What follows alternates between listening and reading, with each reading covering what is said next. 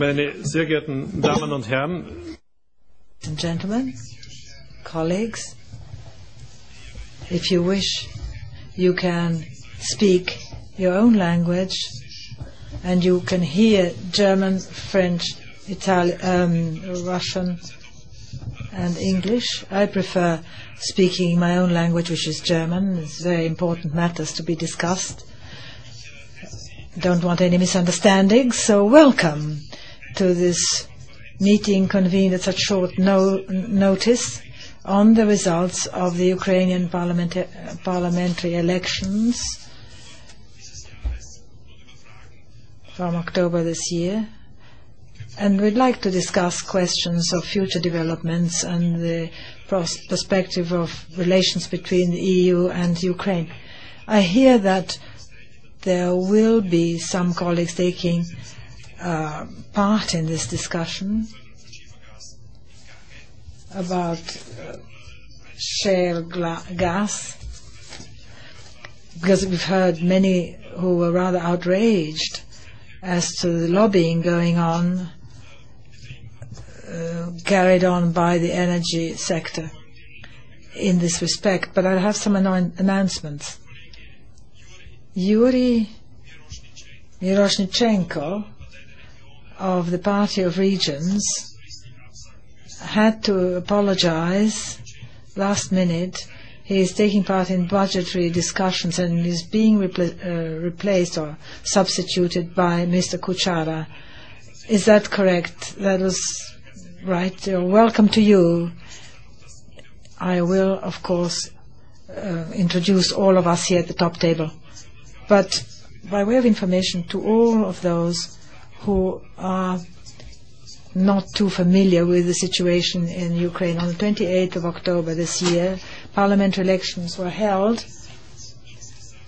Overall, in there's 450 members in the Ukrainian parliament. The term, parliamentary term in Ukraine is five years. Half of the members are elected through party lists and the other half are elected through um, direct mandate in their constituencies. Six, uh, 26 parties took part in the elections, five of whom uh, exceeded the 5% hurdle and have uh, got a seat in the parliament. According to the provisional results, the party of the regions, President Yanukovych's party, have uh, managed to get about 30%. That's 187 man, uh, mandates. The biggest party, uh, Mrs. Tymoshenko, together with some other opposition parties, have 25.54%, and they have 103 seats. The party of Vitaly Klitschko, the sportsman, have 13 plus percent and 40 seats. The Communist Party of the Ukraine achieved 13.18 percent and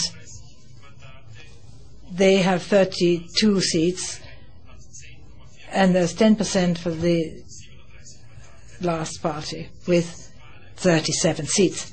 That result is virtually the same as was achieved through the exit polls which were carried out by various journalists. So one can assume that the result is more or less fairly clearly respecting the political balance and the political um, aspirations of the Ukrainian people. Following a decision of the Electoral Commission, five constituencies are going to have a runoff or a second poll, and it's only for five ma mandates, five seats. These seats have not yet been filled, and they will only uh, be established after the result is published. Overall, there have been a high number, 3,000 700 odd observers observed those elections. That's really unprecedented as regards the uh, numbers deployed to observe. The European Union sent observers too. There are a number of independent organizations who were amongst the observers. And then, after the elections, of course, there were, was some criticism leveled by the OSCE, who said that the elections were rigged and there were uh, lack of transparency alleged, party financing and unbalanced reporting in the press. On this, ladies and gentlemen, I would say this is the OSCE observers on elections in Ukraine, not not uh, Austria or Great Britain, but Ukraine. I dare say this uh, could be done for any country. I know that from my own country, when I look at financing and referring to the press and the broadcasts, I've had to suffer the same. Could say the same for Austria. The Ukraine, Ukraine are now trying, quite apart from election results, are trying to bring in a European dimension in its foreign policy. It's trying to reform justice, wants to reach European standards, and virtually all parties, except for the communists, want to embrace European perspective as a desirable guideline of foreign policy in the Ukraine. Today, uh, we have an interesting set of panelists. I hope that we'll have enough time to cover the points for discussion properly. We will arrange it in such a way so that everybody will have a chance to discuss first the elections and then the outlook for relations between Ukraine and the European Union. We have replacing the government party, Mr. Leonid Kozhara. Welcome to you, Mr. Kozhara. He is a member himself. He's been re-elected for the Party of Regions. Congratulations on being re-elected. He is the substitute leader of his party. And before he was uh, one of the leading diplomats of his country. I have a representative of the opposition party, Mr. Andrei Senchenko. To my right here, at the far right, he is a member of the bureau of his party, party uh, Mrs. Tymoshenko. He is a member of the Legal Affairs Committee and goes as a shadow minister uh, for finance. So if the party were to win, he would be the Minister of Finance. And then another panelist, Mr. Bondarenko. Oleg Bondarenko is a journalist.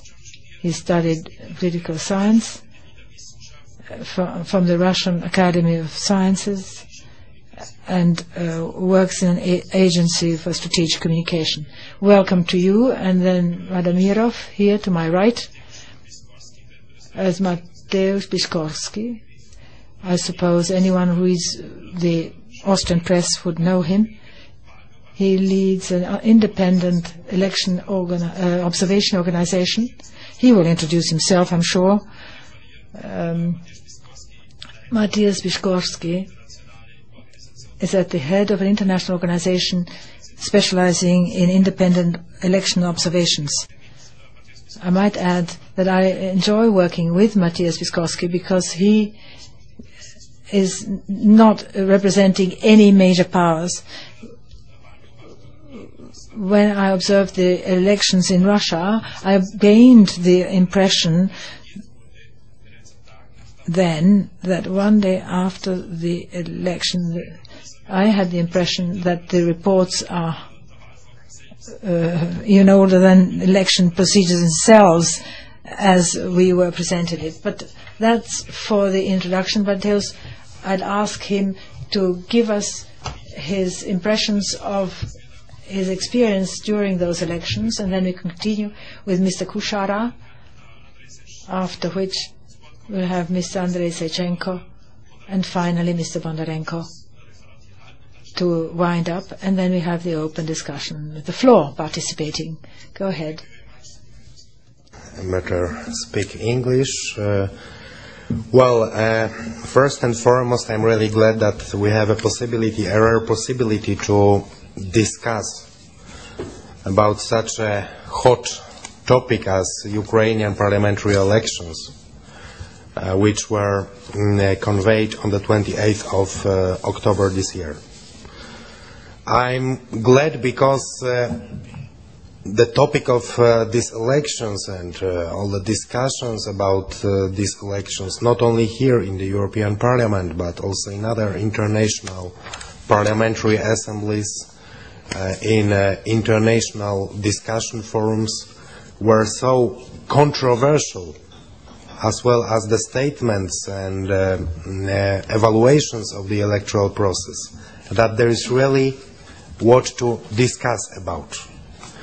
And uh, first and foremost, I'm also glad that uh, the high representatives of uh, two major Ukrainian political forces are present here, and uh, I'm sure that they will tell us a lot about their own feelings about the electoral process, as they were direct participants or even the most important key players in the Ukrainian political scene.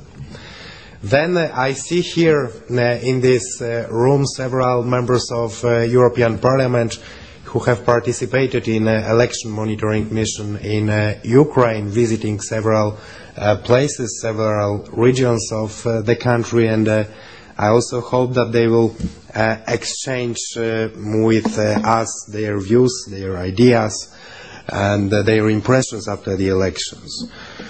But to say a very short conclusion about uh, the electoral process in Ukraine as I have some experience in election monitoring. I was leading one of the uh, monitoring missions at the Ukrainian presidential elections in 2010. Then uh, I uh, was a member of uh, uh, one of the missions at these parliamentary elections.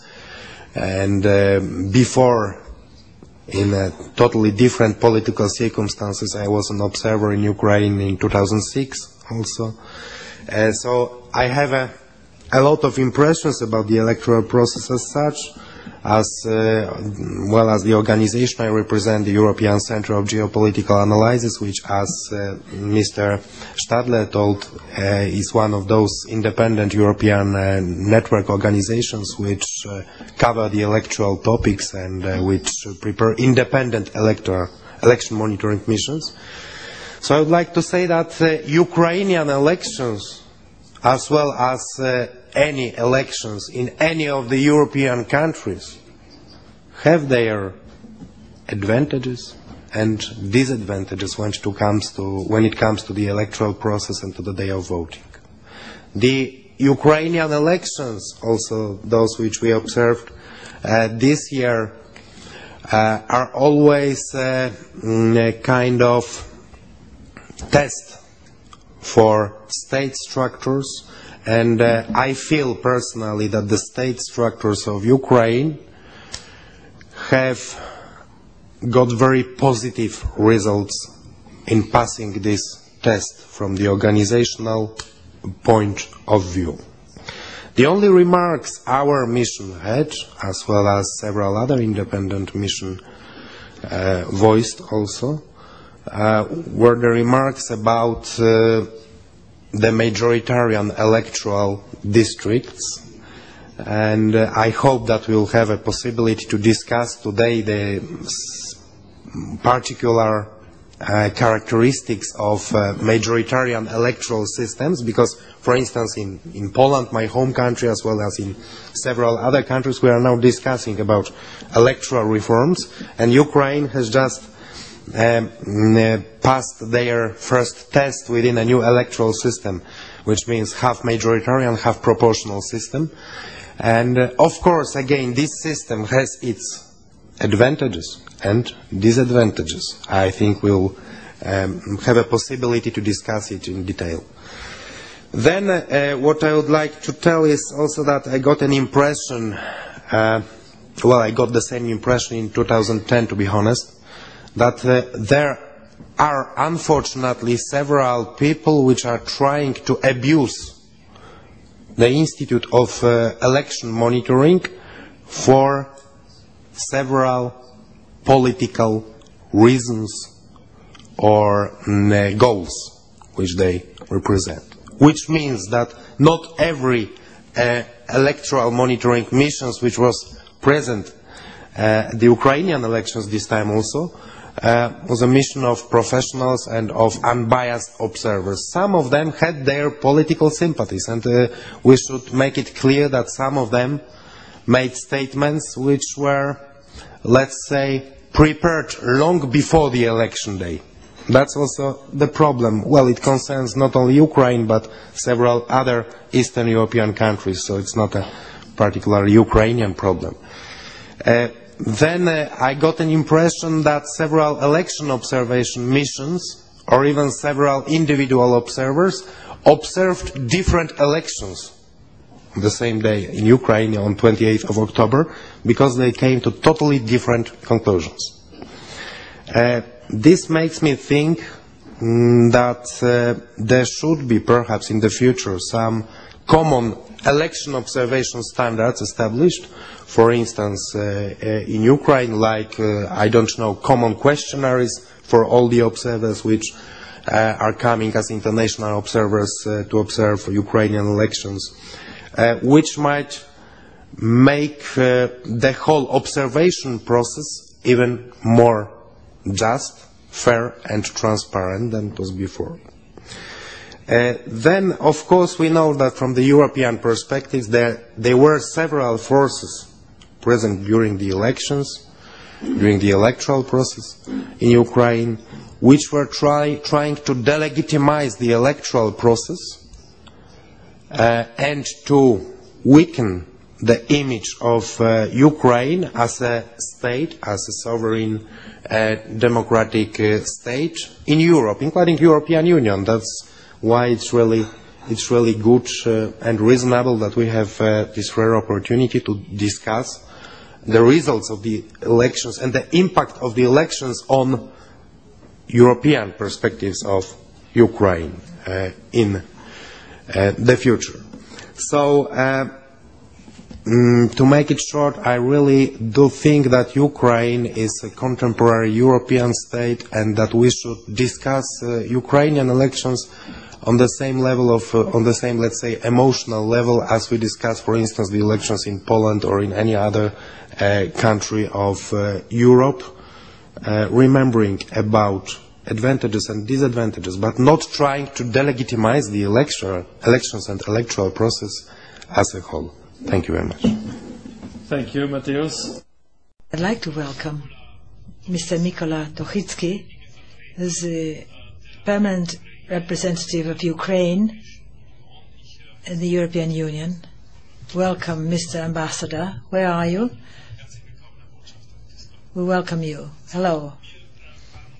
Let's now continue with our brief statements. Leonid Kozhara is next for the Party of the Regions, after which, seamlessly, we'll have the opposition speak, Mr. Senchenko, that is. Go ahead.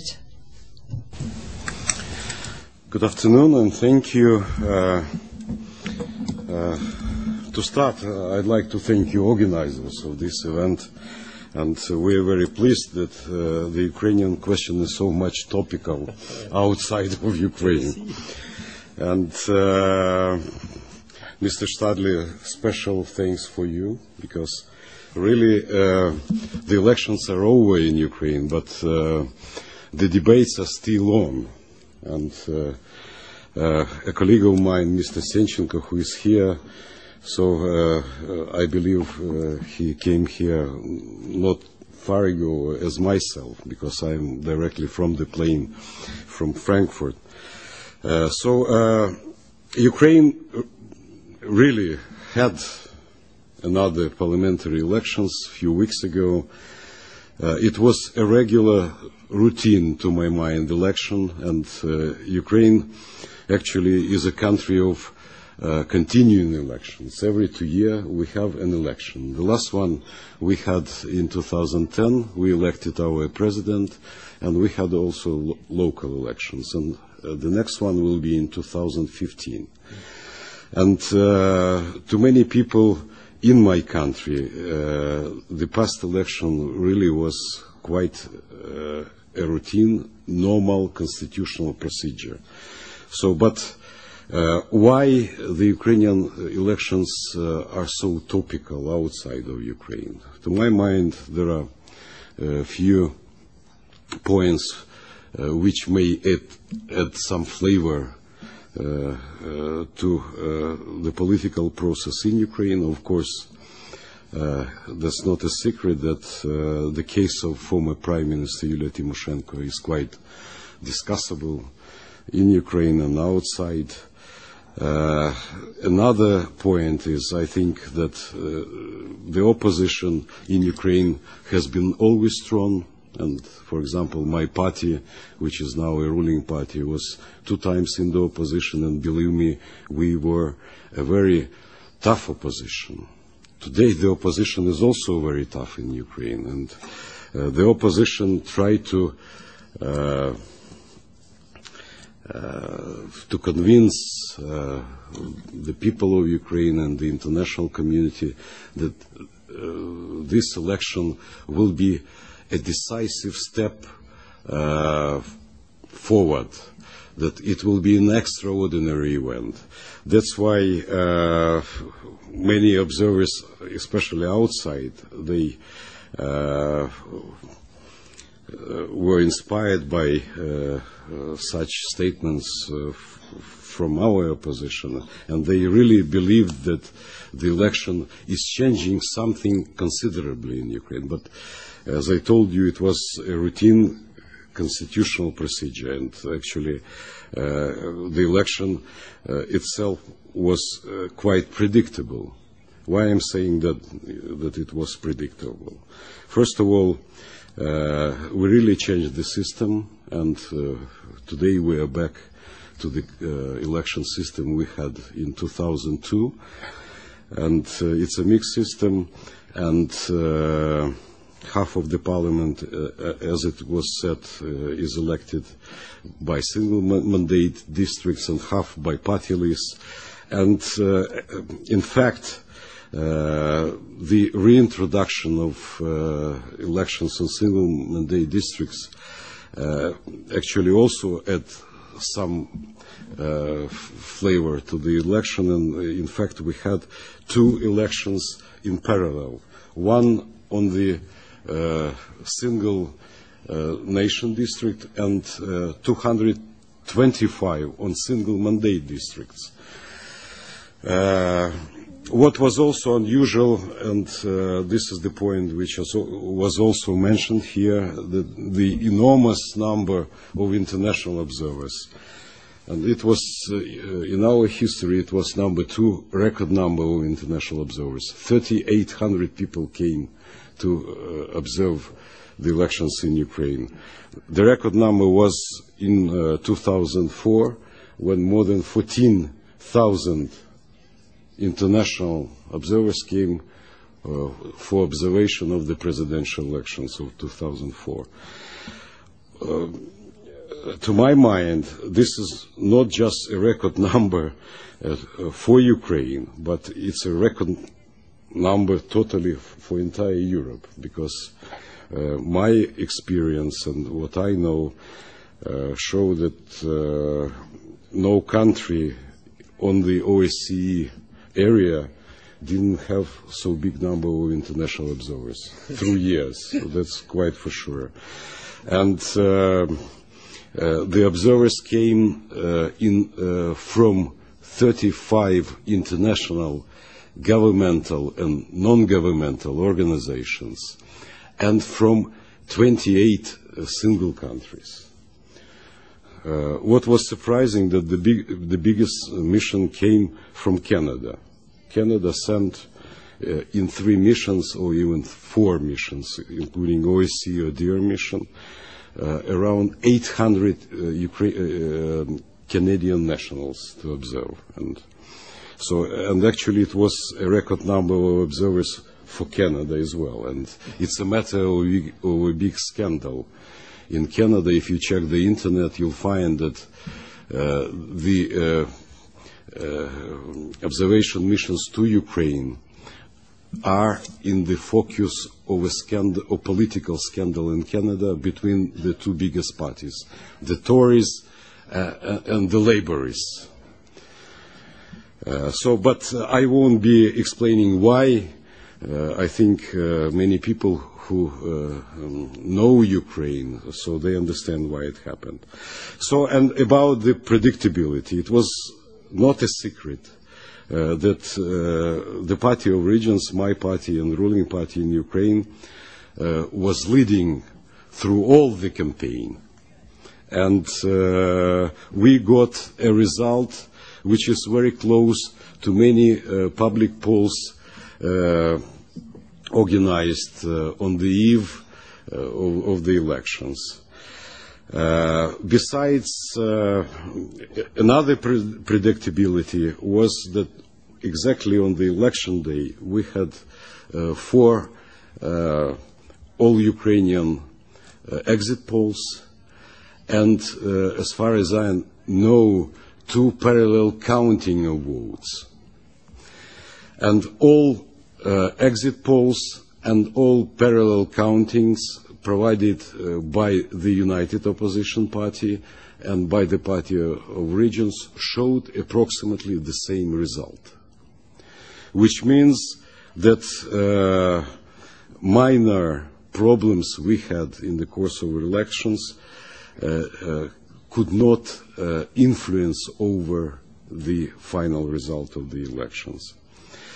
Uh, moreover, besides international observers, uh, we had uh, thousands of domestic observers.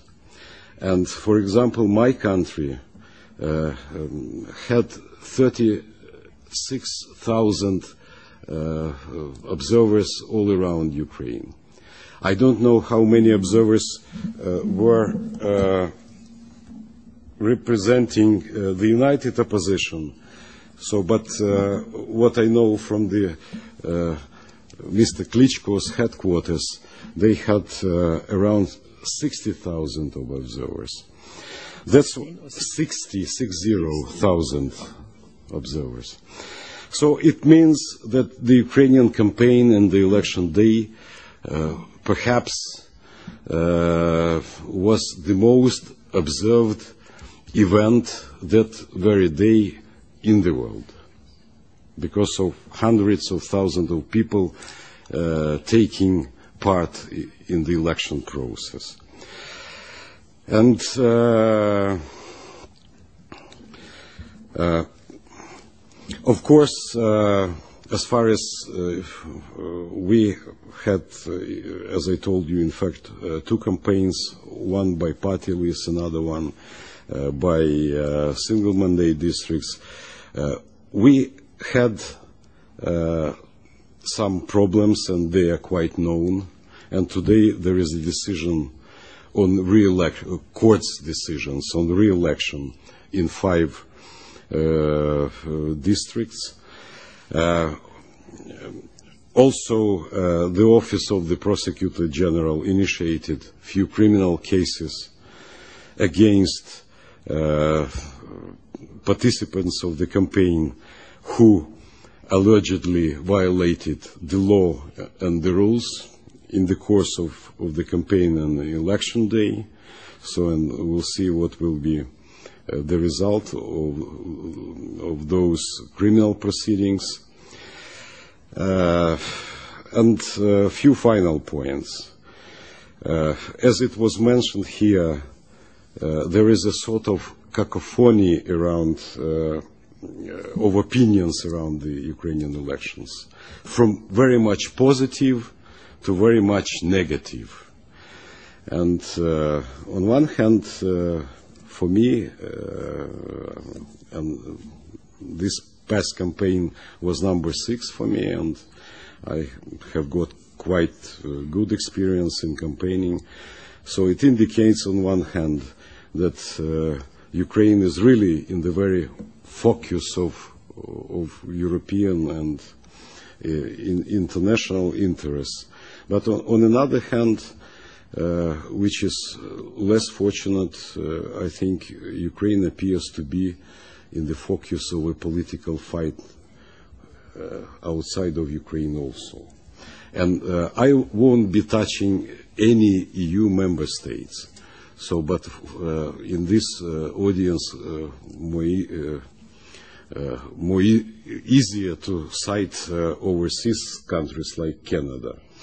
And uh, quite for sure that unfortunately Ukraine is in the focus of political fight uh, in some countries and uh, it had a sort of uh, misstating the uh, uh, true outcome of the elections and a sort of uh, confusing not only for uh, Ukrainian people but also for our partners abroad.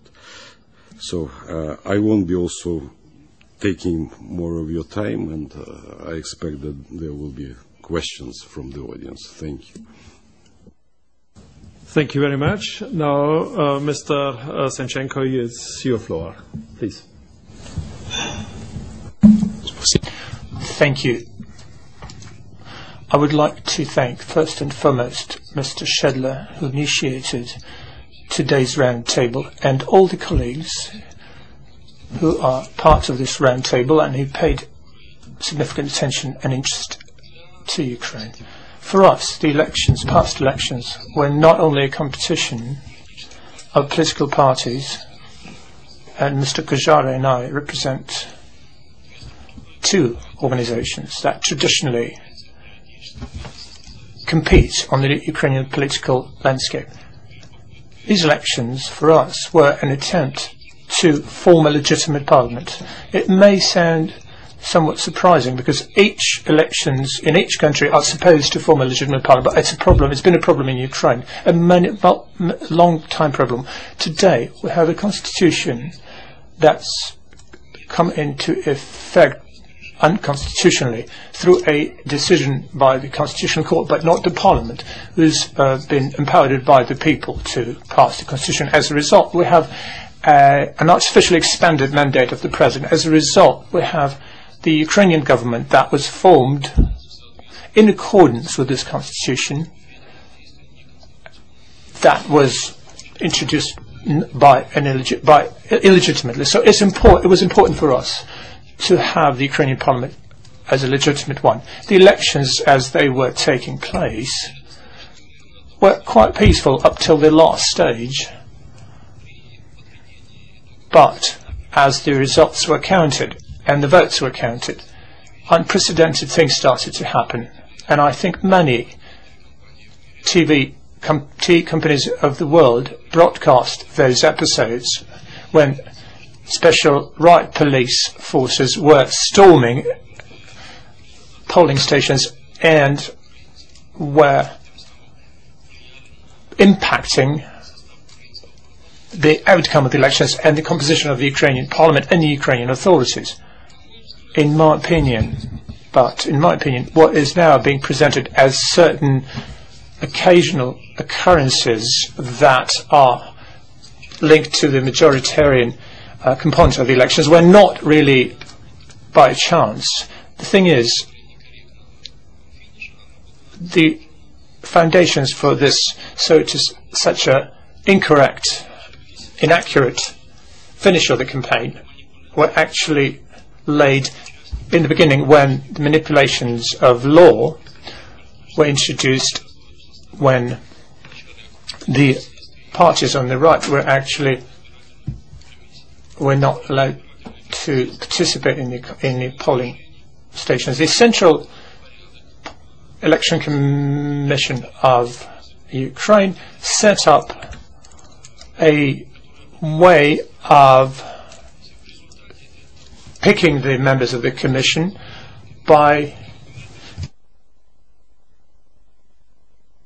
selecting the committee members by checks, and as a result, many representatives like Udar and Freedom Party did not make it. So Mr. Stadler mentioned that 26 political parties participated in the Ukrainian elections. Yes, indeed. Uh, that was the number of parties that moved their lists forward. But more than 80 parties participated in the manipulations of the election result. These were the parties, so-called SOFA parties. There were so-called formal registration of the parties that were just existing right there on the paper. On paper, but those parties were allowed to put forward their candidates into every election commission of the country, and it, it was it, it, it was exactly those people who at the last stage of elections when they were counting the votes, uh, when they were falsifying the elections, there was a difference of 12,000 votes in favor of the opposition. There were attempts to give, to hand victory down to the ruling party representative. What is presented as a compromise today, the idea of having a re-election, re having re-elections held in five constituencies, they are trying to mo to model it not as the elections, but like a chess game.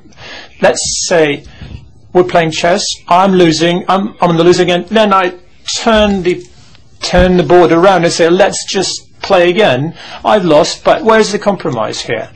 It's not a problem of five constituencies where there is a striking difference, not even where tens or hundreds of votes in favour of, oppositions. We're, to uh, we're, we're, talking about 13 constituencies where these doubts were, uh, where these were serious violations. 35 constituencies were doubtful in terms of counting in, in favour. Well, there, if there is a difference between the opposition and the ruling party, if that difference is insignificant, that difference actually is capable of impacting the political course of the country and the influence in the country. When we talk about the proportional components of the elections, first and foremost, I'd like to say that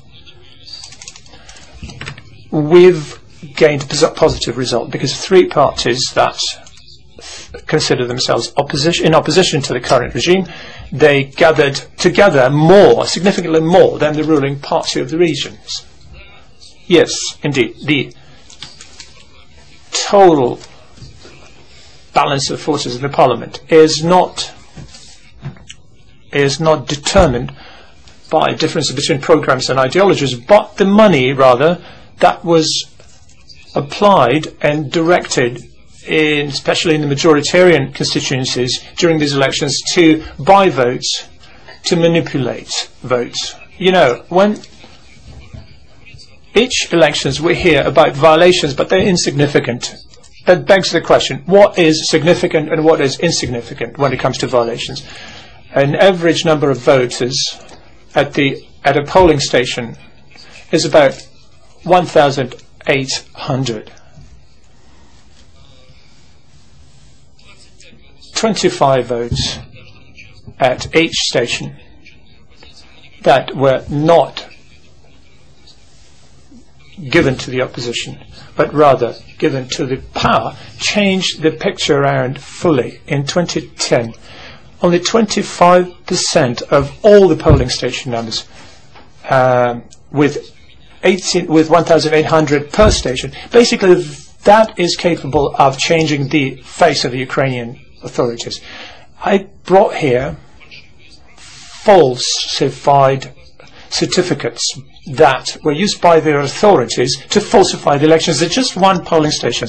It was the Republic of Crimea, where I live, and where I was in charge of organizing elections on behalf of the United Opposition. This is just one polling station in the city of Yalta. 87 falsified certificates uh, certifying that voters were sick, that according we have this, according to the Ukrainian legislation, they have the right to vote at home if they are sick because they're not feeling well. This is anachronism from the past. These certificates were deemed falsified. And as, a, and as an MP, Member of Parliament, I appealed to the Prosecutor General of Crimea, who is the Deputy Prosecutor General of Ukraine, um, as, and it was I was told it's a crime. And I was given three pages of answers saying, do appeal to the polling station, to the election commission. Well, imagine at each of 34 polling stations in the country, we would have the same amount of falsified voters with falsified certificates that would get their ballots and cast their votes. That would change cardinally the face of Ukrainian power and authorities, and that would change cardinally the course of Ukraine. That's why I would like to, th- to thank everybody, everybody who really cared, and from Europe and a variety of organization, organizations who sent their observers. It's important for us to have an objective picture, and it's important to have correct conclusions drawn from that with regard to the Ukrainian elections, with regard to the legislation it was based on, the result, uh, with regard to the, res- to the results of these elections. And we hope that first and foremost, as citizens, we'd be able to draw conclusions from that, as the politicians will be able to draw conclusions from that, in order to change the situation in the country. And of course, we hope that this attention will persevere because for us, the European integration of Ukraine are not just hollow words that we use to speculate, but it's our objective. And we're going to go forward to this objective by changing the situation in, in the country, by choosing a legitimate authorities, and by fighting for democratic values that are fundamentally important for us. Thank you. Danke sehr, Herr Kollege. Thank you very much, dear colleague. Now, ladies and gentlemen, you will have noticed that the political positions differ and that that filters through into their view of the observations. But we have a journalist here, so hopefully we can have an independent account. So Voyek Bondarenko, could I ask you to just tell us about your agency briefly and then to give us your report on the uh, observations during the Ukraine elections? Thank you. Спасибо вам большое, господин Штадлер, за Спасибо вам большое, господин Штадлер, за Thank you very much, Mr. Stadler, for for organizing such an interesting discussion within the European Parliament. I was not an international uh, observer at these elections, but I've been working for more than seven years with a variety of issues uh, related to Ukraine, political, consulting, etc. And I can tell you that for me, during these elections, if I were to talk about such a delicate issue as possible falsifications and the scale of it, then one polling station was quite indicative of that in Kiev, in the city of Kiev, in the Darnica area, at the outskirts of Kiev, where a secretary of the city uh, city council, Galina Gerega, a businesswoman who was quite influential, she lost about 100 votes. Even though she had a lot of financial and administrative resources, she did lose by 100 of votes to a young representative of a radical party, uh, Svoboda uh, Illienko. Many people paid attention to that indicative example where this administrative resource, as they call it, they didn't mean that didn't mean anything. But by and large, speaking generally about the future prospects of relations between the EU and Ukraine after the elections, I would note a couple of things here. Unlike historic leaders of democratic process in the world, where like such as USA, where OSCE observers were not allowed to participate, Ukraine as a young democracy was looking to legitimize its election procedure in Europe and in all directions. The most important thing for Ukraine for today now is a European integration direction, but we should not forget about other vectors um, for Ukraine, such as Eurasian vector.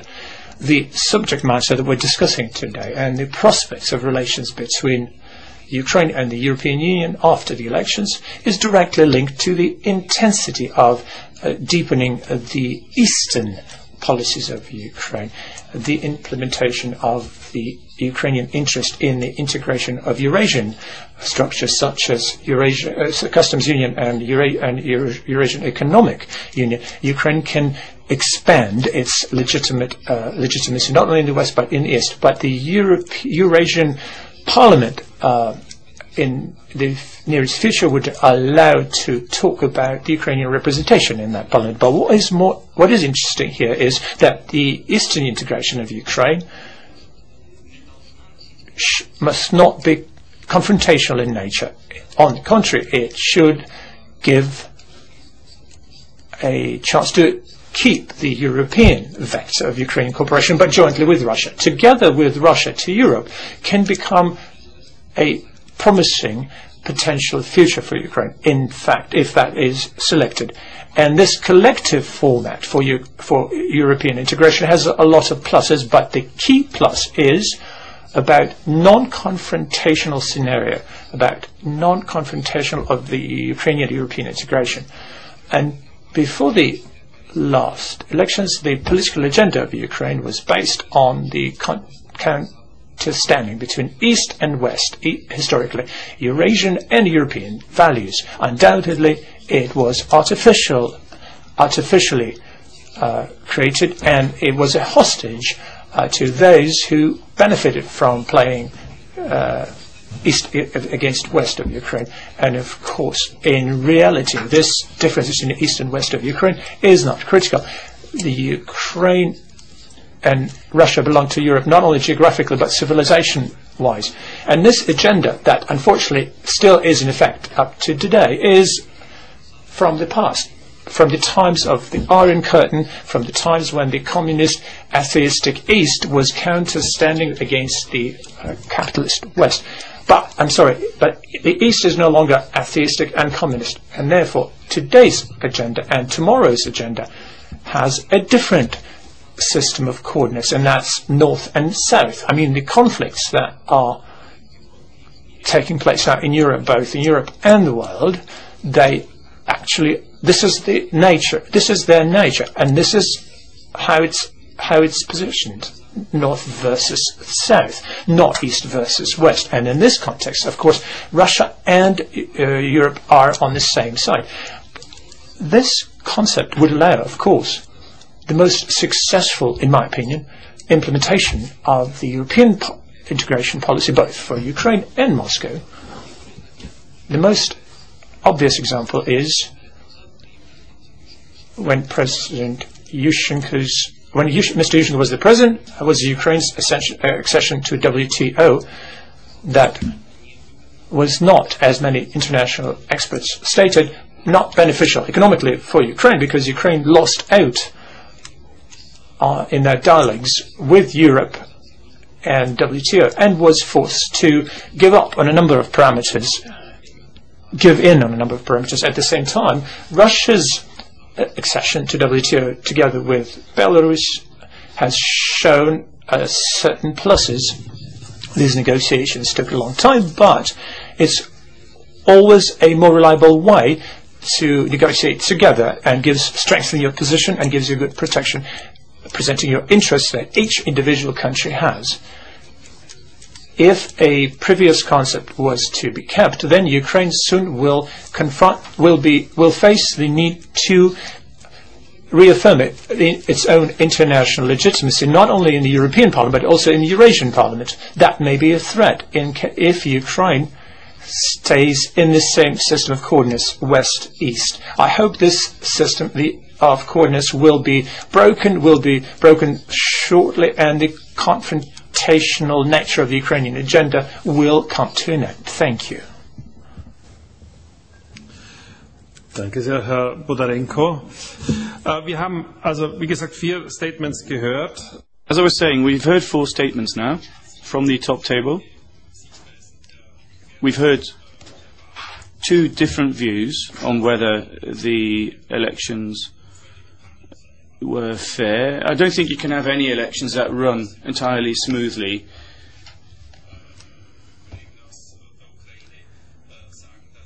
And I would like to tell my colleagues from the Ukraine that you, you shouldn't perceive us as looking down at you about your elections. There's not a single country in the world where you have fully free elections and where all political groups are happy with how the elections went. There were independent candidates as well, which did get voted into office. There were three MEPs that came through the direct elections, and they now have their seat. Two from the uh, People's Party, one from Union, 43 from an independent independent list. So people standing independently uh, and getting elected through their own personality.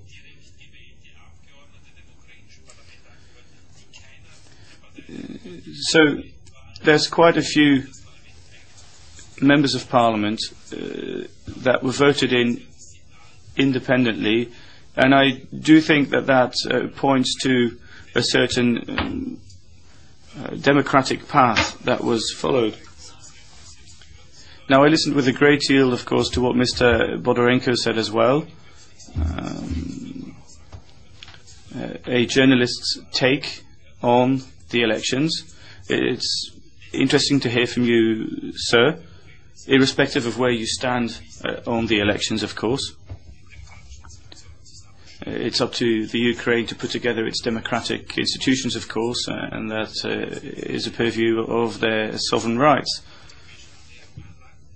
We heard about you about the rapprochement to Europe. We'll also need to look at how that pans out in the future, what the Ukraine's take is on the EU, and also what their relations with Russia are. So uh, I think that's all very interesting. So, damit äh, darf ich in die Diskussion einsteigen und Let darf me open the floor. And if you have any questions or any interventions, then please don't hesitate. So speak frankly, please, if you have questions or comments to make. Yes, please go ahead, sir. Добрый день. А, Wenn меня Sie vielleicht auch dazu sagen, wen Sie зовут- hier sind. э, Can you repeat? Would you introduce yourself? To say, who are Окей, you? окей, окей. And fro- А, from, Меня зовут Андрющенко Игорь. I'm Andrushenko Igor. I'm from the Democratic Alliance Party. I'm an intern at the European Parliament. I'd like to ask two questions to uh, the members of uh, Ukrainian Parliament. First, uh, Alexander, I heard that uh, the administrative authorities' backing was used in this election, uh, sometimes at the lowest level, at the level of the polling station, and also in other area. So, what what do you think should be done to reduce this kind of uh, influence from the administrative authorities, from the administration on the election processes? Now, my second question. Is to Andrei Senchenko. What steps do you expect from the opposition to counteract the actions of the majority? Is there an opportunity to put together a, your own majority in the uh, European Parliament, in the Ukrainian Parliament? das macht die Diskussion lebendiger. Thank you.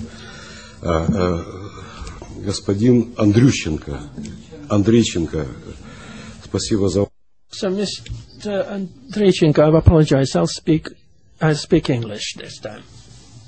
question with regard to the use of administrative resource. Uh, uh, I would reply uh, that uh, the politological term administrative resource, I think, was established after a number of elections on the post-Soviet space. And uh, before that, I, I don't think you can find such a term uh, with regard to uh, any other election uh, in the west of Ukraine or in the east. So what does it mean? So it means that uh, a, certain public officer uh, uses uh, his office to promote himself or somebody else, his friend or relatives to his, uh, in the election process.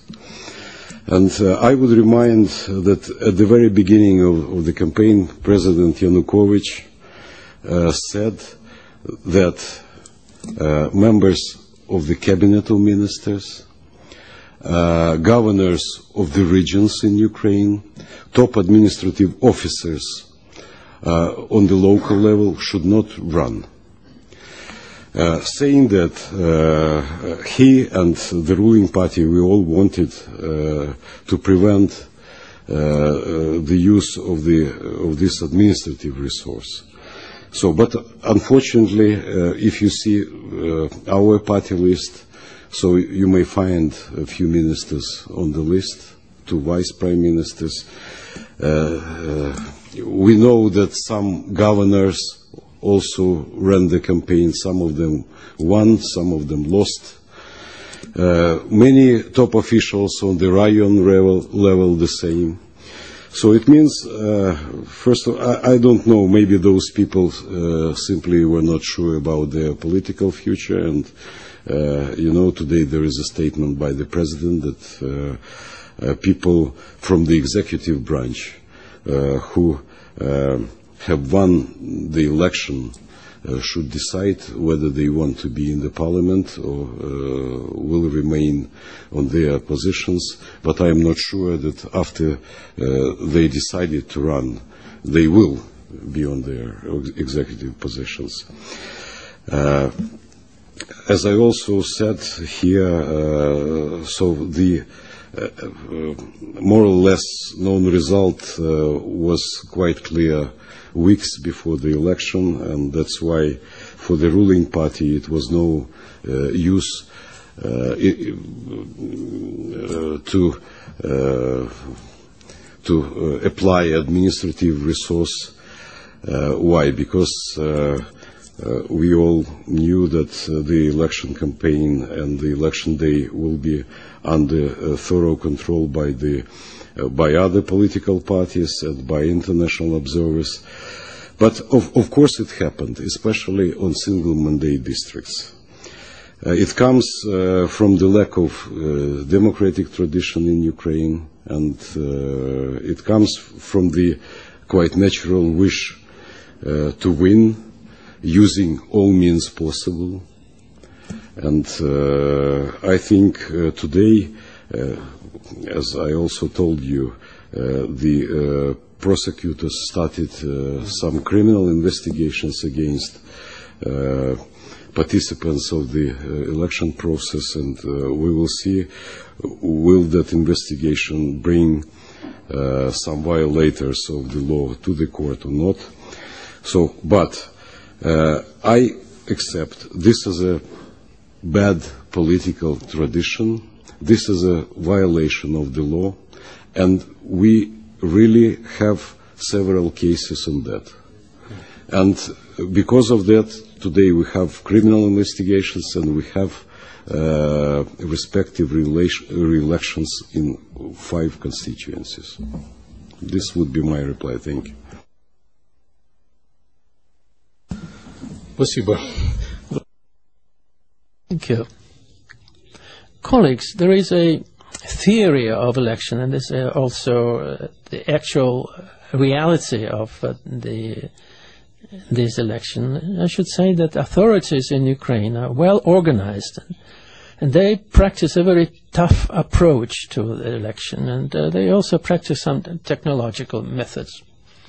They were, they had the backing of the judiciary because there are numerous examples when uh, the positions, for instance, were thrown in in uh, in jail. Um, Mr. Lutsenko, Mrs. Mrs. Tymoshenko, but uh, the influence of the authorities. Uh, uh, demonstrates that, for instance, in the area where I live, uh, we launched 86 various complaints to the courts, and, and uh, the replies from the court were absolutely not supportive. On the contrary, they, they did not want to do anything about it.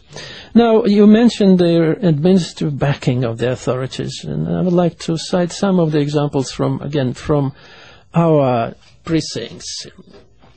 It's, for instance, the Minister of Education of the Autonomous Republic of Crimea was running for the election, and she's going to get uh, the um, mem- uh, mandate as a result of the election and become a member of parliament. So all teachers who are actually under the influence of the Ministry of Education, given that we don't have an independent judiciary, were asked to take a picture by a mobile phone of their ballots and to show these pictures to the school principals. It's an absurd situation. One of my, actually sisters, uh, she's a teacher, and uh, even though the principal of her school knew that I am a leading figure in the opposition, and um, still she was instructed to do this. So isn't that an administrative influence? Because it's just because the system of our judiciary is paralyzed. Anybody, a doctor or a uh, a teacher, if you do not comply, you will be fired the next day. And no Ukrainian court would be able to support his claims. In addition to that, our voters are not protected in economic terms either. For example, in a small settlement in a rural area, the average old age pension is uh, r- rarely exceeds $100. And bribes by those people who were trying to influence the election would offer a hundred that is a thousand dollars to an old age pensioner. So somebody who just survives on a very tiny pension, actually it's impossible to live uh, for pensioners. Of course, a lot of pensioners responded to that, and of course that helped to rig this election. Now, the authorities, as I said, uh, practice some technological methods. Uh, and this is, this is in line with their principles that influenced the election in terms of putting pressure to bear on independent mass media total brainwashing of um, our people through the media channels which are monopolized in our country because they either belong to the state or to the what we call the oligarchs. So there was no equality in access to media. There was no chance of trying to convince our people. It was uh, constant manipulation. Public opinion was manipulated by the mass media. And any anybody who would dissent uh, was punished. So th- that's that's what we describe as administrative backing or administrative resources, they say, in our election. Now about the majority. I already mentioned that Ukraine is faced with a very tough situation, and if elections were proportional as as were done in the past, it would be clear that the opposition gained more votes. But since there was a majority principle that was added to this, the 13 precincts that were in fact characterized uh, by uh, rigging uh, when uh, the outcomes were really rigged, that changes the balance. Without them, we don't have a majority as a, as a position. But if we add that balance, then we would be in majority. There is another method that is practiced by the Ukrainian authorities. For example, we have uh, we know that there are 76 individuals who became members of parliament as a result of this majority principle. Those political parties that uh, identify some some little problems, like they um, they run a business or their relatives run a business, and the pressure can be put to bear on them in order to change the situation and to create a pro uh, uh, president's uh, majority. Thank you. Dann hat man das Gefühl, dass Get the impression that Austria is really closer to Ukraine than Paris. It is actually closer. It's only about 100 kilometers, whereas to Paris is a lot more. Now, it does seem familiar in Austria. We have the biggest number of party membership in Europe. For opportunistic reasons, people might even belong to two. So basically, things are not that special in Ukraine. In fact, you can find similar situations elsewhere in Europe too. Mr. Stoyanov will carry on. Shall we have a little uh, round of questions from the European Parliament? Mr. Gollnisch, Mr. Zalewski from Poland. Go ahead. Floor is open now for three or so questions. I uh, rather make observations that ask any concrete questions. Uh, for our guests, uh, with some of them we know each other. My name is Dimitar Stoyanov. I am an MEP elected from Bulgaria. I am a substitute member to the delegation of the European Parliament uh, to the uh, to Ukraine. Unfortunately, I was not able to attend the elections as an observer because at the same time my main delegation was about to have a meeting in Macedonia. Unfortunately, this one was cancelled, so I had I didn't have the opportunity neither to come in Ukraine nor to Macedonia. So it was a, a streak of bad luck that I had with my delegations this autumn. So uh, I would like to make uh, the following observation first on the question that was raised by Mr. Senchenko on the the constitutional matters. Uh, I was in Ukraine in 2010, right after the local elections took place. And, uh, and uh, at that time, the matter of the term of the Verkhovna Rada was still under debate, and it was still, it still wasn't sent to the Constitutional Court. So I asked many questions, as Mr. Kozhara maybe remembers uh, at that time, about the constitu- constitutional situations, even before the case in the Constitutional Court was started. And I made, made up my mind. I, uh, I specialized, I'm a lawyer by my profession, and I specialized in comparative constitutional law. And I can say that I'm uh, probably the best lawyer in Bulgaria in this matter who is not in academical circles and who is not in university. So I made up my mind uh, on this uh, thing, and I was very pleased when the Constitutional Court of Ukraine, more than one year later, took the same decision that I was have deemed as should be just and right, much before the procedure was started. So, from the constitutional point of view, I think that uh, everything was accordance to the law and to the principle of the constitutional law in Europe and in the other places uh, in the democratic world about the um, carrying out of the elections and the other problems that were mentioned, I would like to point out that um, I personally also am specialist in the electoral systems, and I can say the same thing about the the constitutional things that I'm maybe the best lawyer in Bulgaria in electoral systems, who is not an academician. Um, I personally oppose these mixed systems of proportional and majoritarian elections. Uh, this is because first it violates the first principle of democracy, one citizen, one vote. You give every citizen two votes, and this creates two classes of members of parliament after the elections. It creates also a very, uh, in, especially in the single seat constituency, a very heated battle that the the candidates are very much personally interested in making ma- making it, so they are ready to do everything, and often this everything is electoral violations. So I'm personally uh, opposed to these mixed systems. I'm very in favor of a pure proportional system with the possibility of preferences put in the party lists. So eventually the party list could be rearranged by the voters and not to be fixed one.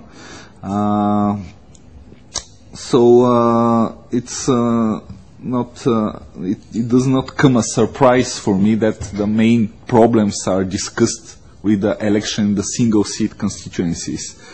Uh, here I should uh, point out that when the new uh, Ukrainian legislation on the elections was adopted, it was adopted by an overwhelming majority in the Verkhovna Rada. And uh, most of the opposition also voted for these things that now are pointed out as problematic. So uh, I, I, I don't think that it can be blamed on, on the governing party, and uh, all the political class in Ukraine should take responsibility for these uh, situations. Uh, about the, for example, the drawing lots for the electoral committees, it's absolutely incomprehensible for me. It's, it cannot be a, a, a system based on law which provides some justice to draw lots. It's something from, I don't know, I, I cannot really understand it, such kind of system. So, so this should be changed. And some other system should be found because the electoral committees in the polling stations, they are the most important, important things in every election because they count the votes, really. So um, about the certificates to vote in another place, uh, I can tell you we have a big, big problems with these in Bulgaria for years and years. And in the, later, the, the latest overhaul of the Bulgarian legislation, we just abolished them. So this is my recommendation to, for you to do the same. Just abolish these, these because there is no other way to solve the problem with uh, the certificates to vote um, on the another place. And uh, on the latest place, uh, I had a meeting with uh, one of the candidates, Mr. Kisse, who is uh, a leader of the Bulgarian community in Ukraine.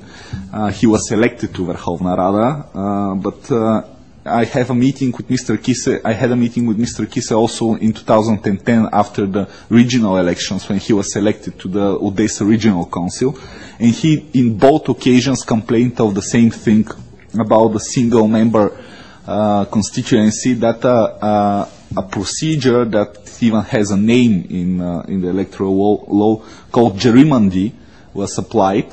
And the gerrymandy is when you, when you draw the borders of the co constituencies, you do it in the way that uh, a particular social group in this, uh, in, in this place is dispersed among the different constituencies and they cannot, they cannot make a majority. So he complained that the Bulgarian community, uh, especially on this region, was, I, I'm finishing, this is the last thing, was uh, divided in this way. Well, his election shows that is, is, it was not such a severe thing, but I think that it should be uh, considered by the, the next Verkhovna Rada. Thank you.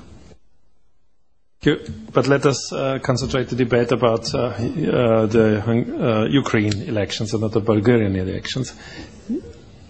Please. Last thing was in, on the Ukrainian elections. Yes, okay. Yes, in, in the Uh, Bulgarian and there is another remark, uh, Yulau, uh, that also a great country like the Federal Republic of Germany has a mixed system in the uh, in the constitution about uh, to elect to the, the members of the Bundestag.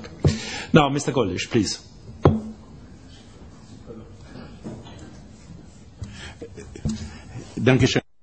Thank you. May I speak French? Yes, the gentleman may speak French, of course. Thank you very much. I'm Bruno Gollnisch, European Member of Parliament, non-attached member of the Front National in France. I'd like to ask a few questions. I'm sorry for having arrived uh, uh, late. I will have to leave before the end of the meeting, unfortunately. My apologies. Poss- possibly my question has already been uh, answered. I understand that 225 members are elected in a single um, ticket um, process.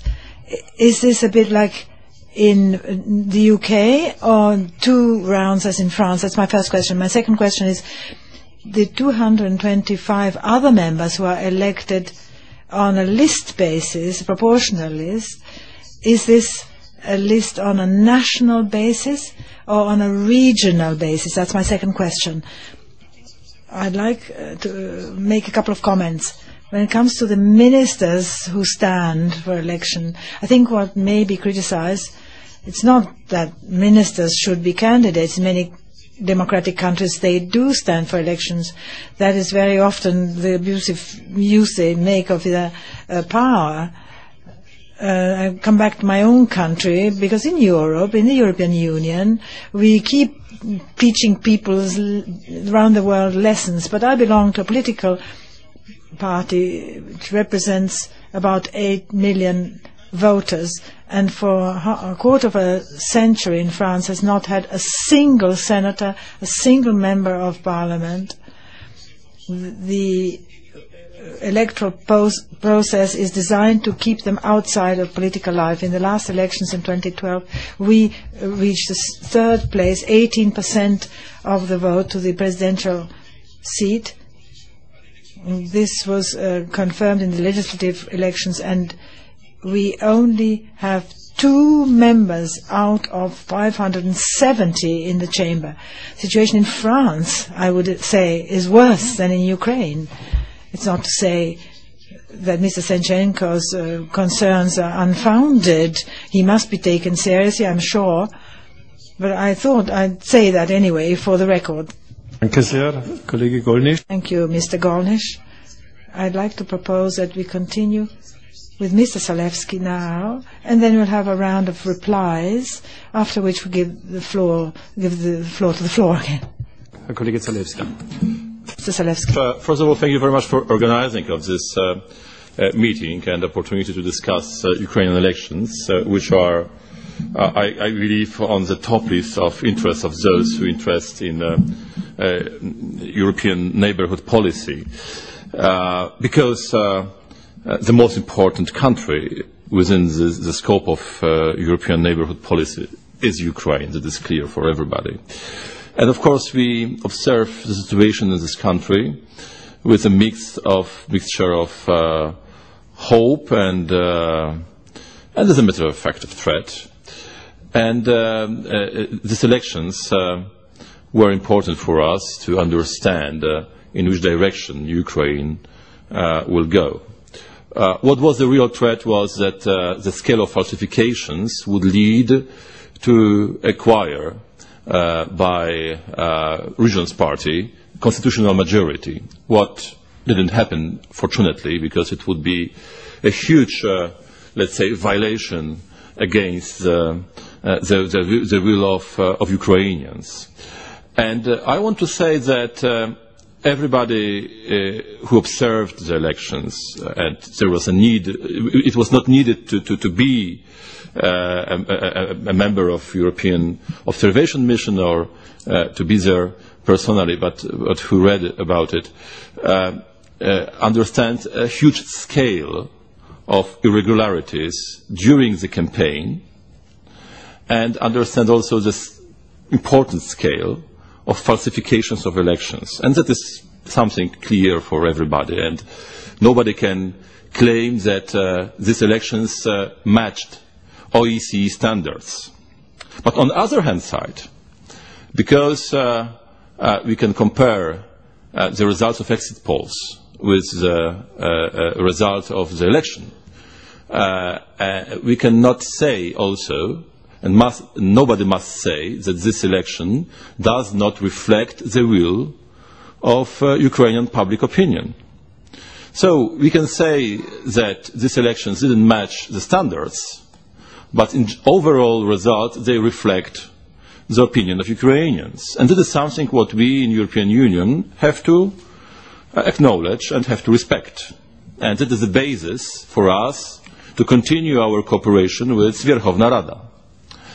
Uh, is first opinion. Second opinion is that, um, or this is a question as a matter of fact, uh, that the issue we discuss right now, which are the consequences for EU-Ukraine relations uh, of these elections? And of course we observe the process of uh, uh, constitution of uh, Verkhovna Rada. We know that the first meeting will be the, the 17th of December, right? So it will be quite, quite soon.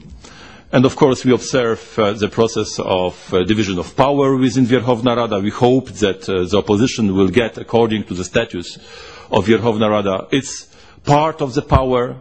Uh, and uh, it is extremely important for us that uh, it will be a division between the committee, the, the committee's chairman, according to the proportion of the of, the, of the parties uh, uh, according to the elections, and so on and so on. Uh, and that is the other stage for us important, that uh, so elections are, are, are passed, so we observe what will happen with uh, these five constituencies, but then what will happen in the process of constitution of Verkhovna Rada, that uh, uh, what will be the role of the opposition. Then I would like to come to the conclusion uh, uh, by asking Mr. Senchenko. Do you think, Mr. Senchenko, as representative of Batkivshchina, that uh, after this election there is a political need, political climate, political opportunity to sign up the association agreement with the CFTA? If yes, do you think that it, it should be conditional or not? If conditional, which conditions you foresee for that? Thank you.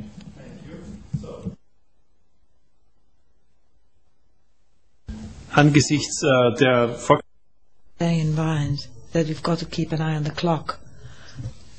I will take two more MEPs, after which I propose our panelists will do, do the field the questions. We have to wind up at eight o'clock. Mr. Stockton, then. Uh, yes, thank you very much, Ewald, and thank you for organizing this. Uh, when I was asked by the European Спасибо большое. analysis, uh, Mateusz is also here, um, to go to the Ukraine to observe the mission, um, I didn't know anything about the Ukraine. So I had my assistants provide a bookwork, and I, I, think now I know more about Ukraine than the average Ukrainian. But, um, but, but that was a good start. And first of all, I was very impressed by how nice people are, how beautiful the country is. But then it comes down to the elections. And I always think that we are there really as observers and not as much as deciders. I mean, I think my job there is to see in the, in the poll stations that I go if they live up to the rules. Uh, if, I, uh, if I look on the street, if I see people campaigning on the wrong way, that's your job as an observer. So I took that very high. So we went to the polling stations, and uh, I really did see some, some things with problems. For instance, uh, the secrecy of the ballot boxes, they were fully transparent. And I think that should be changed because you could really see what people uh, had voted. You could just see it.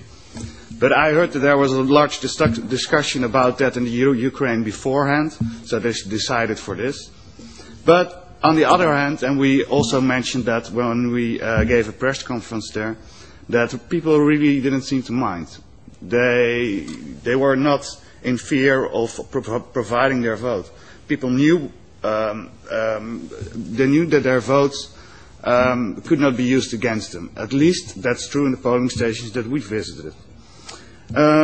I also had a problem with, and I think that, uh, let's see, Mr. Senchenko, he also mentioned it, it's the, it's the boxes they take to the homes of people.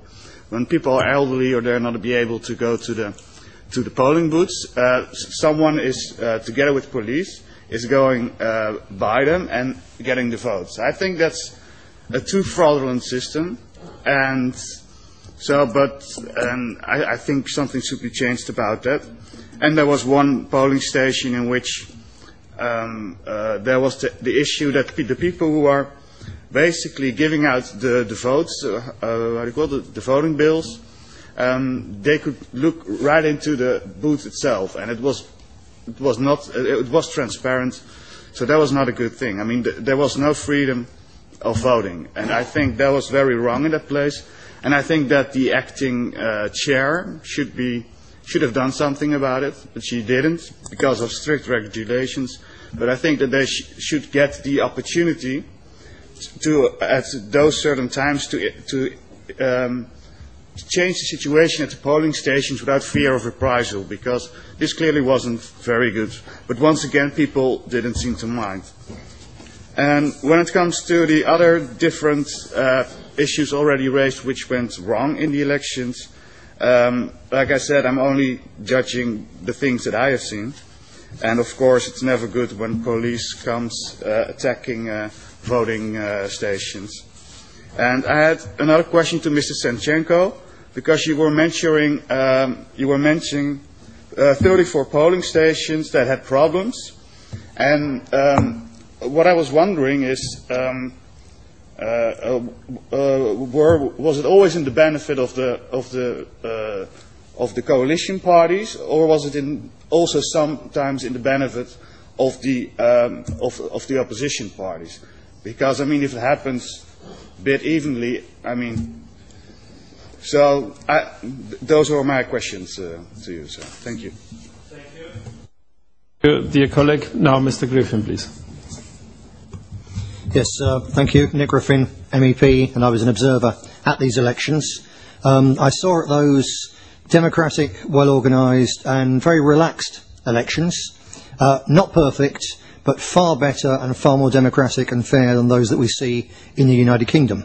I'd like to address my first point to Mr. Senchenko. Um, incidentally, when you speak of judicial neglect, uh, manipulation of public opinion, people being threatened with their jobs, uh, I hear you talking about Britain as well as Ukraine. Uh, so you, you're already pretty integrated. If you want to go the whole distance, you also need to, threat, to threaten to throw people from their homes if they vote the wrong way. We get that in Britain. Uh, but um, rather more seriously, I was interested when you spoke and showed the falsified uh, application for voting from home, um, in that, although clearly it's wrong, is this an issue of corruption or is this lazy voters? Because it seems to me that these are genuine voters and it's likely they would vote the same way at home or in the polling station. Uh, again, it's, it's a problem, but a small problem compared, say, to Britain, when we have two million completely fictitious, invented voters, all of them with postal votes. So it appears your system isn't good, but it's better than ours. Uh, and the second question I'd like to address uh, to Mr. Piskorski, uh, this question of the mobile phones being used to photograph people's ballot papers uh, which I did hear about um, while I was in Ukraine. Uh, I think this is a problem which is going to spread to every democratic country, not just Ukraine. Uh, and I'd like to ask you, as you're an expert in elections, have you thought about this and how do you think it can best be stopped? Thank you. Thank you very much.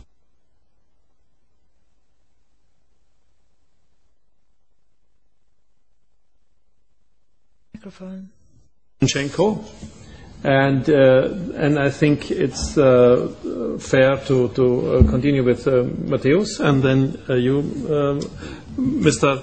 Uh, Kozhara, and, and you, are the, the, the coronation, Mr. Bondarenko. Please, Mr. Senchenko.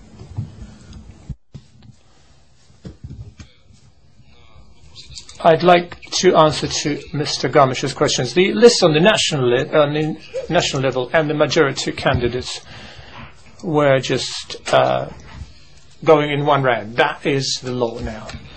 Bulgarian um, MP raised the issue of imperfections in law and, constitu- and the constitution law. I support your opinion that to extend the parliamentary mandate beyond the term it was elected for is not good. But what we're talking about when we talk about the illegitimacy of the parliament, we're not talking about that. We're talking about the constitution that was approved by the constitutional court, not the parliament. That was during Kuchma's presidency. And that is actually in the constitution itself, that the parliament should approve it. Mr. Zalewski's question, with regard to the association agreement and the FTA, of course, for us, it's the most important issue for us because I may repeat myself, but these are not just manipulative terms, but in reality, it's the choice of the majority of our country. But this is the question we have to ans- find answers both in Ukraine and we have to find the solutions in Ukraine and to, we have to change the situation in Ukraine. And these are the questions we have to find answers here in Europe as well. I do not think, and you know, we are the proponents of Ukraine integrating into Europe as soon as possible, but at the same time, I don't think that Europe is ready to forego the democratic principles, the standards that it stands for. That became the norm of life in the European countries. And for us, the, therefore, the issue is when we are able, and I'm sure we will be, when we are able to join those uh, values, and so that Ukraine would look attractive. I think today's authorities in Ukraine are not interested in the European integration, equally as it's not interested in rapprochement with the Russian Federation.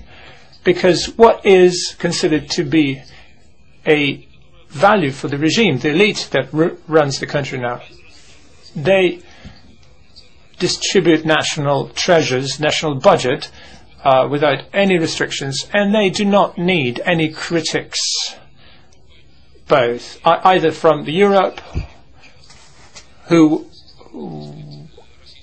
nor uh, or any participants from the Russian side in this process of distribution. So I think this current situation, neither here nor there, actually matches what the Ukrainian authorities want to have. With regard to what we need to do and how we can move forward, in my opinion. The Ukrainian, authority, Ukrainian authorities are what we have now, but tomorrow it will be different. But there are citizens who want to live differently and who believe that the standards that Europe offers, has to offer, are the standards that are, that are attractive and one has to strive to achieve them inside the country. And it's important, in my opinion, that beside the Ukrainian besides Ukrainian authorities, that there were other conversations uh, going on on a variety of levels citizens to citizens, business to business, small and medium business, youth programs, uh, mobility programs, educational programs, and scientific research programs, etc., etc. So all that, it, although it may not be officially acknowledged yet at, by, by any agreements, official agree- agreements on the authorities level, but those are going to be the steps towards a fully fledged European integration of the country. Mr. Wunderstadt raised the issue with regard to those 35 constituencies which we believe had significant distortions of the results on majoritarian principle. But we've never heard about any constitu constituencies where the authorities would have any claims against the opposition. We didn't have any claims against opposition parties. With all due respect that these are three opposition parties fighting to get ahead, but we did not come. We, we did come to the we did come to the conclusion that we have one common value to get the country back on democratic track and in, in a variety of aspects. And therefore, we came to a single strategy, single opinion to to go towards this objective. And therefore, there were no contradictions between us in this regard. A few words with regard to the law. That issue was also raised uh, by a number of colleagues here. To what extent it's perfect? Uh, undoubtedly, it has to be improved. And this voting outside of the polling stations. Definitely, it's a clear path to falsifications. But I'd like to say that when election commissions actually took a liberty of advising those old older people how to vote, and so the situation when they were told what who to vote for, Ukraine actually has been there. It was 15 years ago. Nobody goes these days to those people now. They just go to the nearest house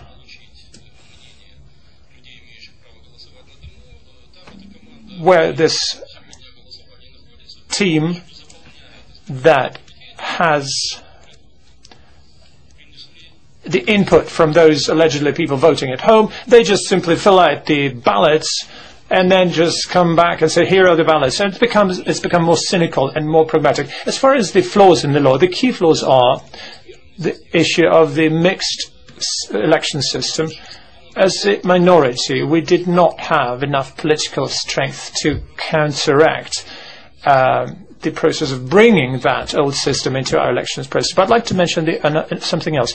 I don't know, as, an, as a legislator, what legislative norm we should introduce that would ban special police riot forces to storm polling stations. I don't know what we should write, should put into the law to ban the authorities to rewrite the final uh, minutes of the election commissions, put a stamp to it with fully aware, fully being aware that the political opponents would have the same uh, ballots that were officially published by the by the by the government and numbered, etc. But the authorities did not seem to be afraid to change that situation. I don't know what we can do about it. How we can just introduce this into the law so we could avoid that. Thank you. Thank you very much. Uh, when it comes to the question of uh, Mr. Griffin, I'm, from what I know, uh, no electoral system in the world is perfect. And from what I know, no political culture in uh, the world is perfect. I mean, uh, no political culture is free, on, free of corruption. Uh, when it comes to the mobile phones or uh, photo cameras which uh, are taken to the cabins at the polling stations just to prove how one has voted and then perhaps get some gratification for such uh, voting. I think uh, we cannot solve this problem unless we put uh, on the entrance to the polling station some uh, security system, uh, some security check control as uh, at the airport, for instance. So uh, I fear it would be impossible uh, to fight this practice, and I'm sure that this might be mm, fought only by, let's say, working on one's political culture, on mm. country's political culture. Perhaps it could be also fought by improving the level of life and social uh, system, and then people would not be eager to be corrupted by uh, the candidates.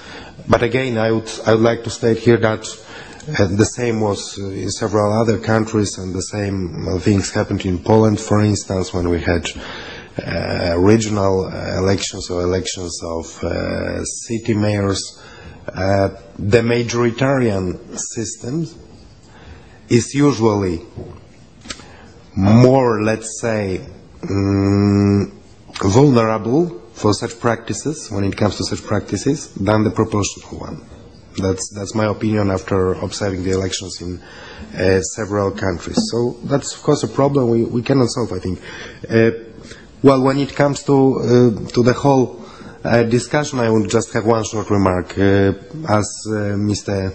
Zalewski uh, told, regardless of all remarks made here, regardless of all remarks made by the opposition, by all the participants of the elections, the, the elections, I mean the result, reflects most, not only of the exit polls, but of the opinion polls which were made before, I mean uh, several weeks before the elections, as the electoral war, uh, law prohibits uh, mm, uh, opinion polls, uh, from what I remember, uh, two weeks before the election day. So when it comes to the possibility of the people to uh, choose their representatives, when it comes to mm, the fact that the, the elections reflect the opinions of uh, the Ukrainian citizens, I don't have any doubts. And I'm also glad that even the most radical opposition parties, like, for instance, we mentioned here uh, Svoboda, the right-wing uh, radical party, uh, are accepting or recognizing the election results. Because otherwise we could get a situation which we have now or had in, um, for several days in uh, one of the European Union member countries, I mean Lithuania. Uh, we would have a paralyzed and blocked uh, political system, which uh, uh, I wouldn't wish uh, would happen in Ukraine. Thank you. Thank you.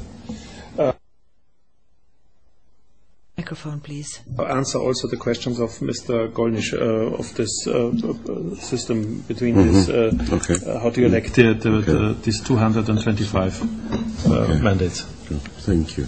So, uh, unfortunately, uh, Mr. Stoyanov left. So, but uh, who knows him uh, may say uh, to him that I will pass his best regards to Mr. Kisse, who's been re-elected in, in the Odessa region, and uh, there will be another election soon because Mr. Kisse uh, was uh, a member of the Odessa regional legislature, and uh, there will be another election. What regards uh, uh, Mr. Stoyanov mentioned lottery as a very negative example. So I would say that not more than 20 party, parties participated in the elections, but 87 parties, including on the level, local level, level. Yes, but what's important here, that parties who, uh, which are already in the parliament, they uh, had their own quotas in all commissions of all level. It means that only new parties didn't have their quotas. And, but when uh, the Central Election Commission faced uh, that 87 parties are going to participate, what should they do? First of all, they use the law, and this system of lottery is prescribed by the law in Ukraine. And the law, and it, uh, as it was said here, was adopted with the overwhelming majority in the Rada. All parties voted for the law.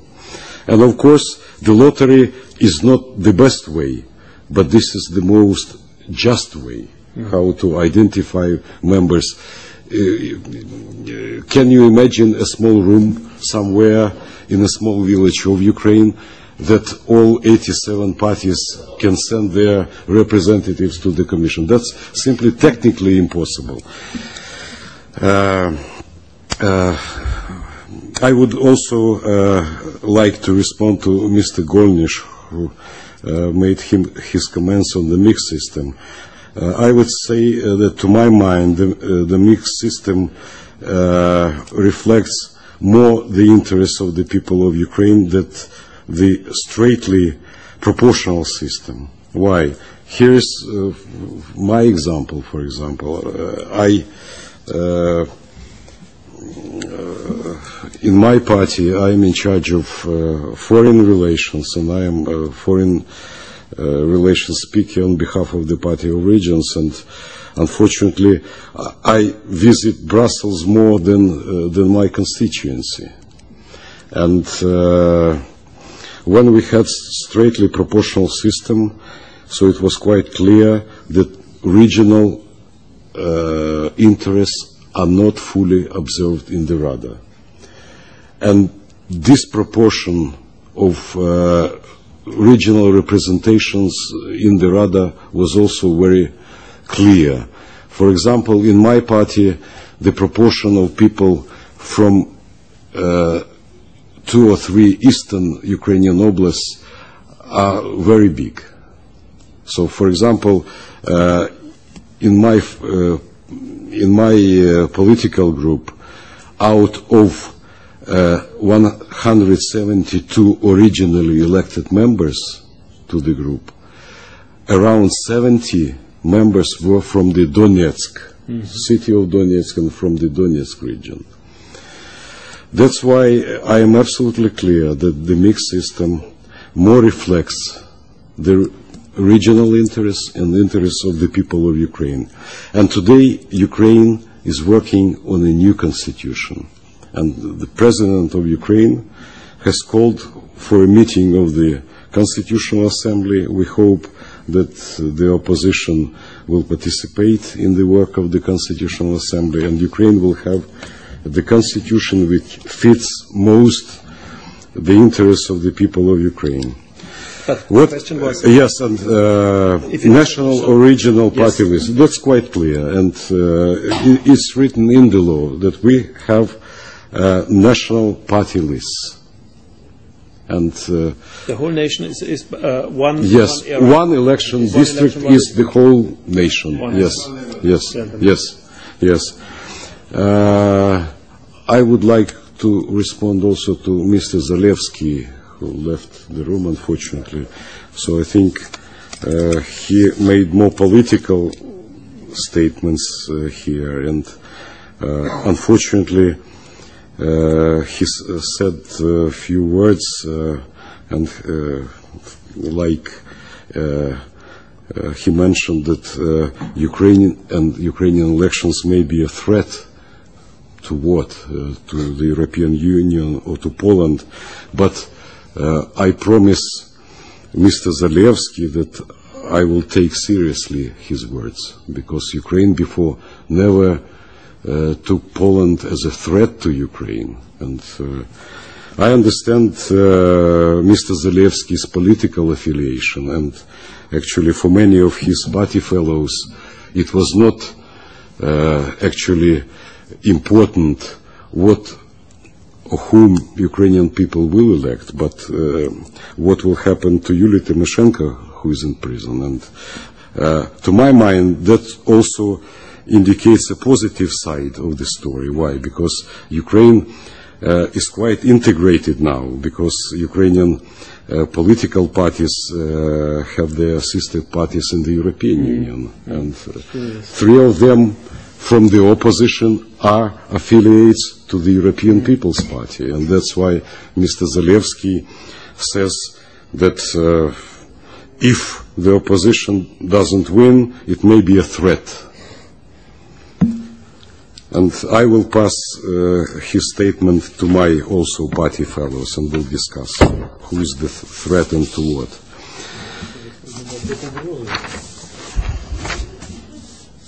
Yes, uh, I would also uh, would like to respond to Mr. Van der Stoep, uh, who said about transparent boxes. Once we had non-transparent boxes, but uh, uh, we had some unfortunate cases when many ballots were put in a pack and thrown into non-transparent boxes.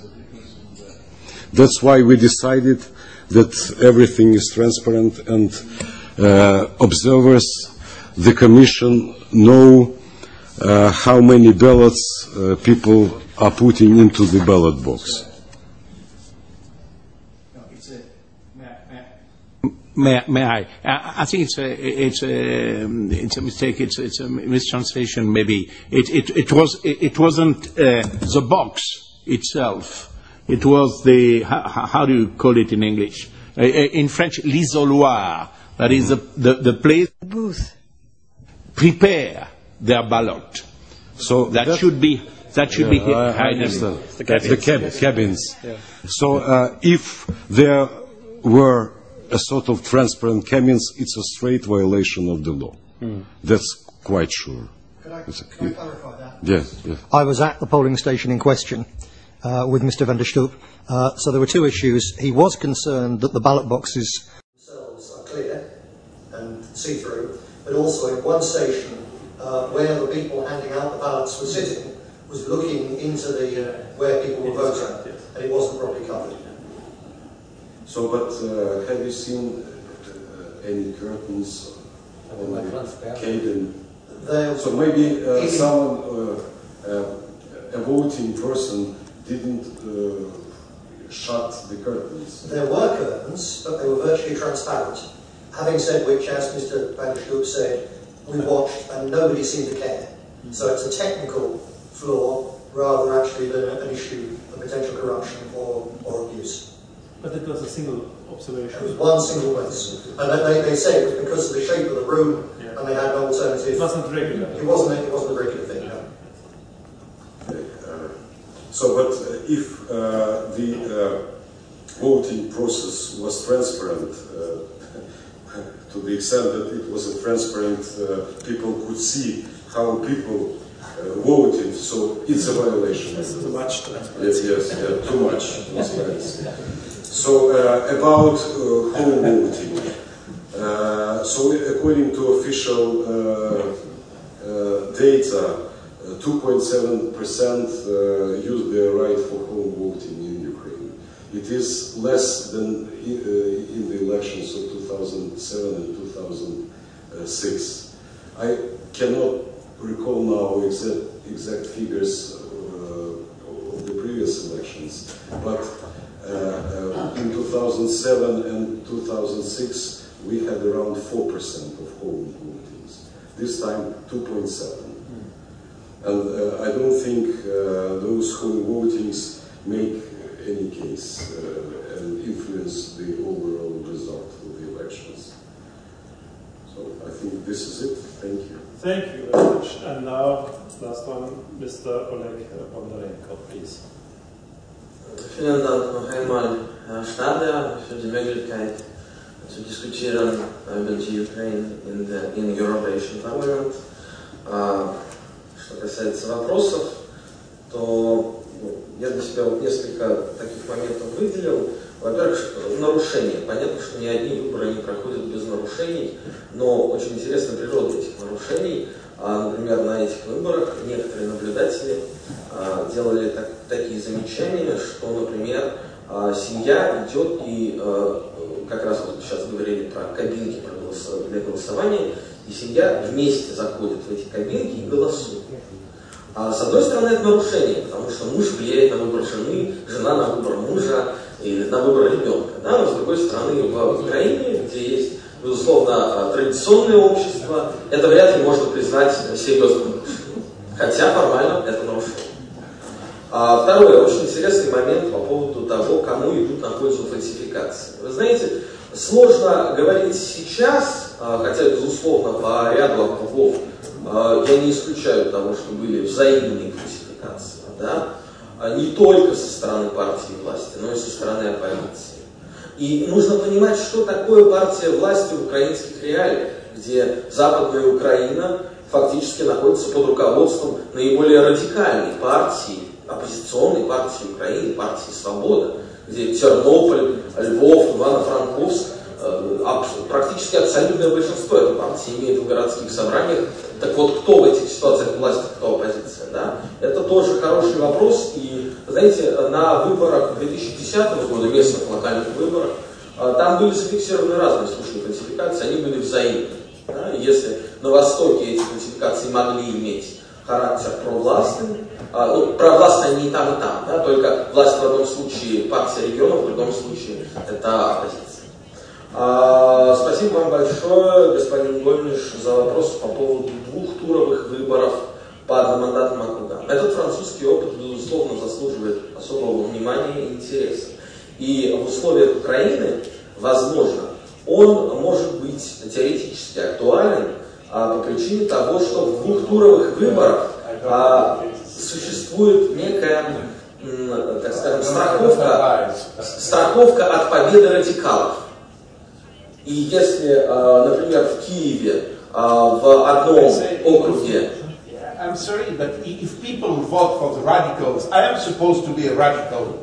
If you are a Democrat, radicals should, should have their place. Sorry.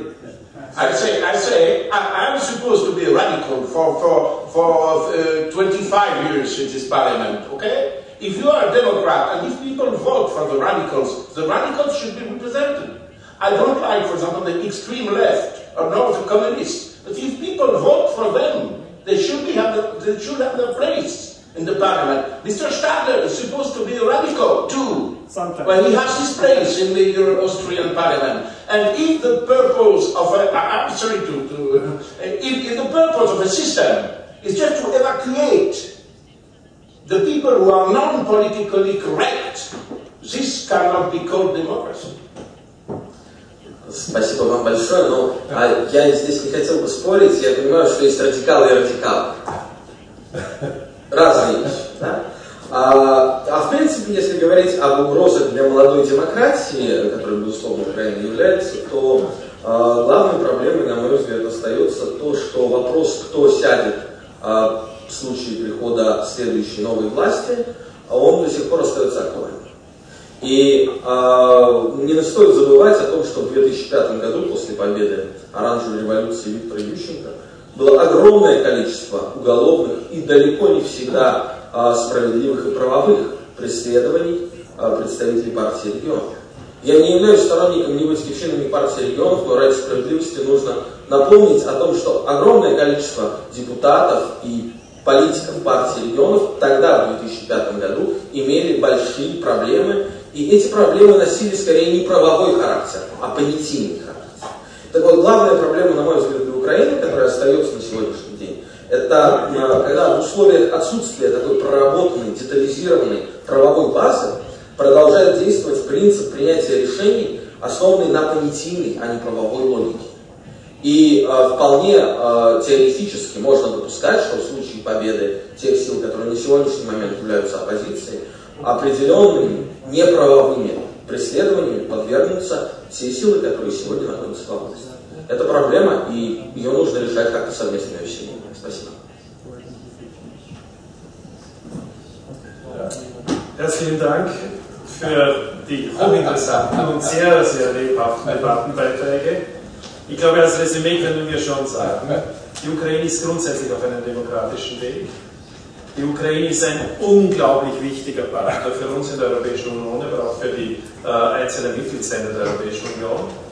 Wir sind davon überzeugt, und hier teile ich die Einschätzung des Kollegen Zalewski, dass das Wahlergebnis, so wie das Parlament jetzt zusammengesetzt ist, und das ist für die Demokraten das Wichtigste, den Willen ukrainischen, des ukrainischen Volkes wiedergibt, widerspiegelt. Das ist das Bedeutendste und Wichtigste für aus dem, äh, äh, vor dem Hintergrund des Aspektes der Legitimität. Und wir meinen, dass die politische Kultur in jedem Land verbesserungswürdig ist, auch in der Ukraine, und dass sich das auch entwickeln wird. In diesem Sinne, meine, meine Herren, meine Herrenrunde hier, meine Herren, äh, darf ich Ihnen danken für Ihre Diskussionsbeiträge und für Ihr Kommen. Ich darf Ihnen in diesem Sinne auch alles Gute für Ihre weitere Entwicklung wünschen, für die Entwicklung der Ukraine. Sie ist für uns, wie gesagt, auch von besonderer Bedeutung. Ich darf allen danken, die so lange ausgehalten haben. Wir haben jetzt fast etwas mehr als zwei Stunden hier diskutiert und Diskussionsbeiträge gehört. Ich darf Sie nunmehr äh, noch einladen zu einem Cocktail hier im Anschluss an diese Veranstaltung und wünsche Ihnen noch einen schönen Abend und alles Gute. Danke sehr.